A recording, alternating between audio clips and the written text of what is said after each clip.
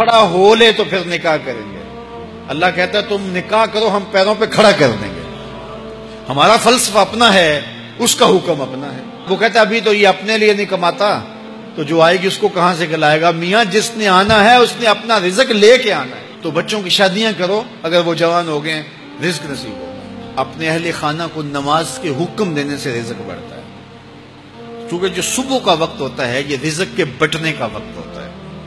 اور جس گھر میں صبح کے وقت لوگ سوئے ہوئے ہوتے ہیں، وہاں بے برکتیاں ہوتی ہیں۔ تو طلوع فجر سے لے کر کے طلوع آفتاب تک اپنی اولاد کو، بیوی کو، بچوں کو نہ سونے دیں۔ اس وقت رزق بٹنے کے لمحے ہوتے ہیں۔ کثیر دعائیں مانگیں، تلاوت کلام مجید پڑھیں اور نماز فجر مرد حضرات مسجدوں میں جا کے با جماعت ادا کریں۔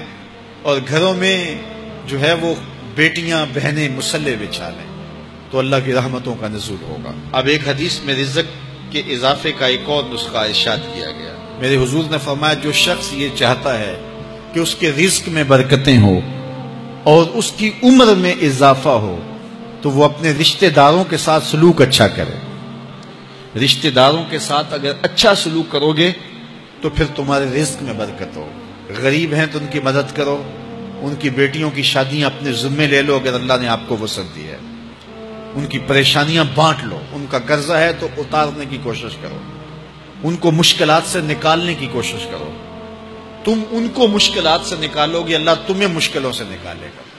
تمہارے رزق میں بھی برکتیں ہوگی اور تمہارے مال میں بھی برکتیں ہوں۔ فرمایا، بہتر صدقہ وہ ہے جو ناراض غریب رشتہ دار کو دیا جائے۔ اگر وہ پھنس گیا ہے، مجبور ہے، ناراض ہے، تو اس کو اگر دیں گے، تمہارا نفس اس میں شامل نہیں ہوگا۔ تو یہ افضل صدقہ ہے جو ہر صورت میں قبول ہی قبول ہے۔ رزق کے اضافے کا ایک اور سبب الحسان الدعفا جو کمزور لوگ ہیں، ان کے ساتھ اس نے سلوک کرنا۔ الانفاق اللہ طلبت العلم۔ طالب علموں پہ خرچ کرنا۔ یہ بھی رزق میں اضافے کا سبب اور ذریعہ ہے۔ وہ حضرت بابا فرید نے کہا نا چھٹا رکن دین کا روٹی ہے۔ گھر میں کچھ نہ ہو تو پھر نہ نماز اور نہ ہی دیگر امور کی لذت آتی ہے تو یہ رزق فراواں اور وسیع اور مبارک نصیب کر دے اللہ۔ تو اس کے لیے ایک اور وظیفہ میں دیتا ہوں اور وہ یہ کہ مغرب کے بعد اکیس مرتبہ سورت الکوثر پڑھ لیں۔ کثرت ہو جائے گی انشاءاللہ۔ اول خدوشی پڑھ لیں، پانچ سات منٹ لگتے ہوں گے۔ تو سورہ کوثر اکیس مرتبہ روزانہ مغرب کی نماز کے بعد پڑھیں۔